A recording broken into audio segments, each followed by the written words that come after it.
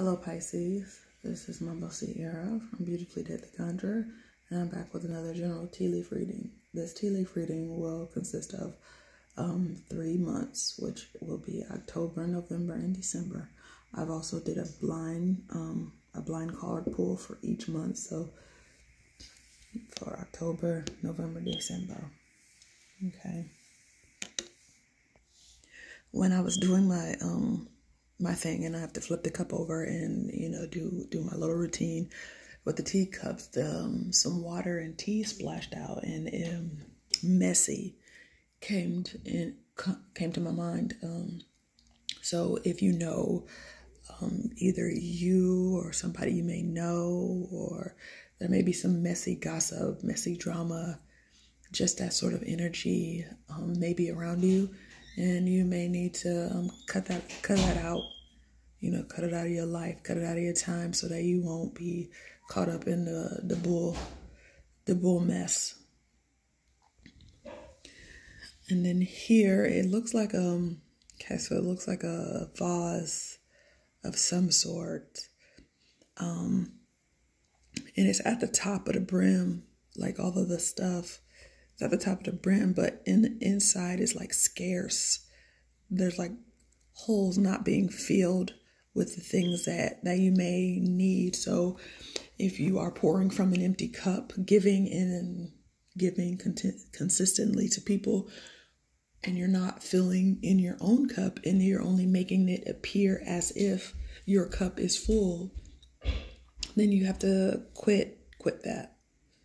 Um Look at the spaces in your life that need attention, that need time, that need nurturing in order that so that all of it, all of you can be whole in order to feel, in order to help other people, you know, and you help them by using the overflow of what you've already given yourself. Okay, so we'll see here what we have for October.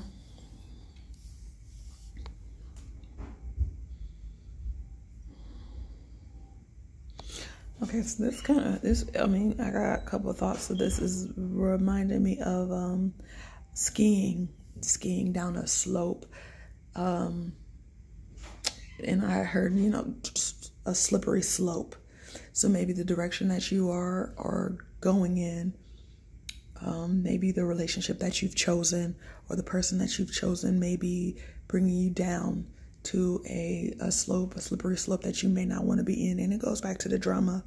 Um, if they are not a person with the integrity and morals that you need for yourself, then this person is just going to drag you down and you're just going to be along for the ride, trying to guide and navigate your way with two little sticks. Okay and it and, and it also reminds me of something. It looks like a machine too.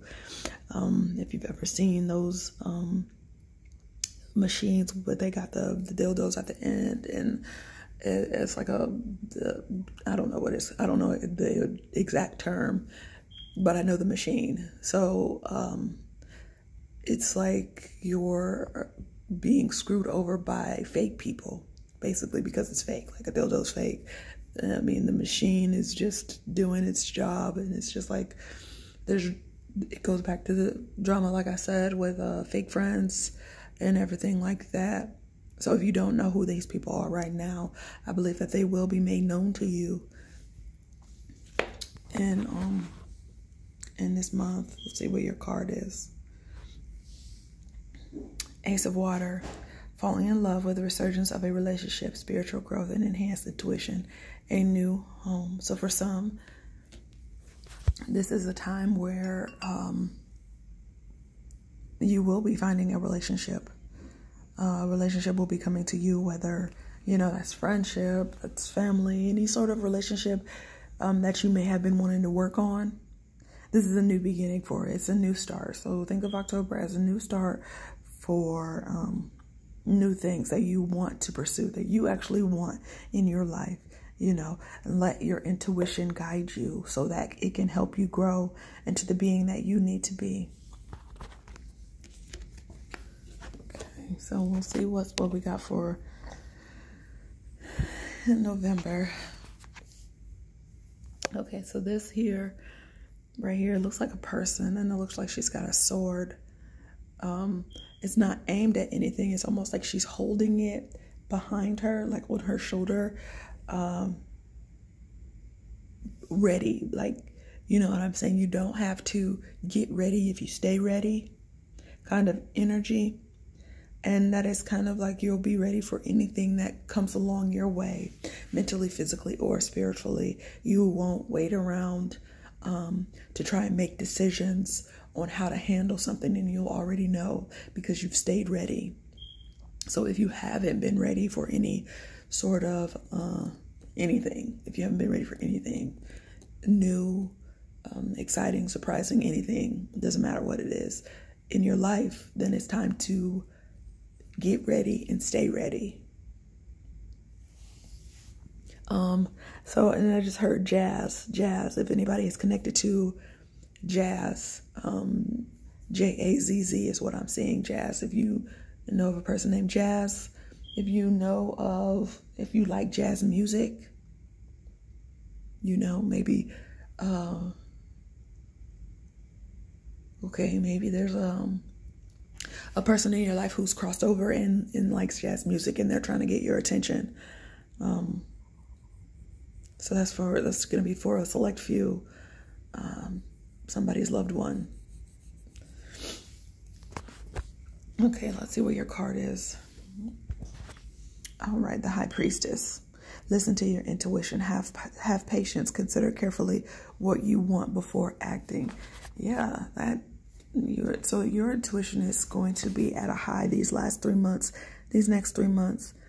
So it's time for you to listen to that and you know connect with water. You're a Pisces, so connect with water in order to get get closer to your intuition and get closer to your spirit guides. If that's how you um, need to be don't disregard what spirit is telling you you know just because you want somebody to be in your life.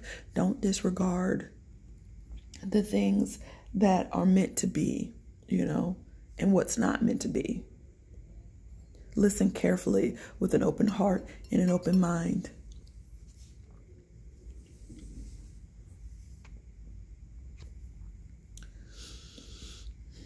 Okay, so for December here, this looks like a dagger. It looks like a dagger, and it also looks like a, a person flying.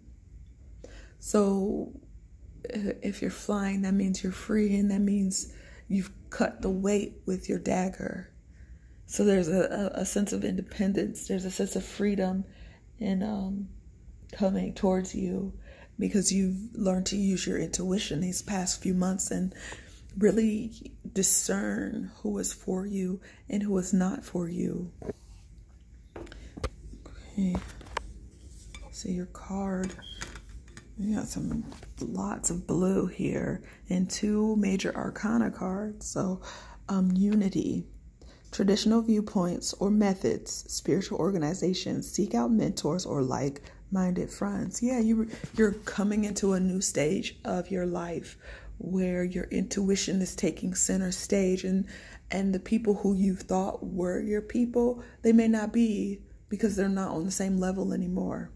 They're not um, trying to grow spiritually and you may be trying to grow spiritually. So i would begin to look for a mentor if you haven't on how to really connect with your ancestors your guides um, any sort of things like that. It's, it's going to be up to you and how you handle these things but you're at a transformation pisces.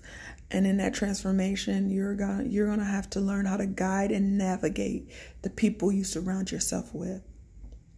Okay? Let's see what is that at the bottom? Mm. okay so that kind of looks like a hut. And um One instance, it looks like a shark, and another, a fish. So I would protect my home if that's the case, because, you know, spiritual attacks could be a thing if you are a spiritual person. So I would protect my home. Um, and then this may be for some, this may be a new home where uh, you move and then you you find a, a better job or a better situation where you're making more money. So, and that could be any time. This is at the bottom of the cup. So, a bottom of the cup is like general energies overall is what I'm giving. So, yeah, um, a move um, that brings more money in. Okay. Well, thank you, Pisces, for listening and, and coming on. And I hope that it resonates. I appreciate the love and for the shares, subscribes, and the likes. Um, thank you and have a good day.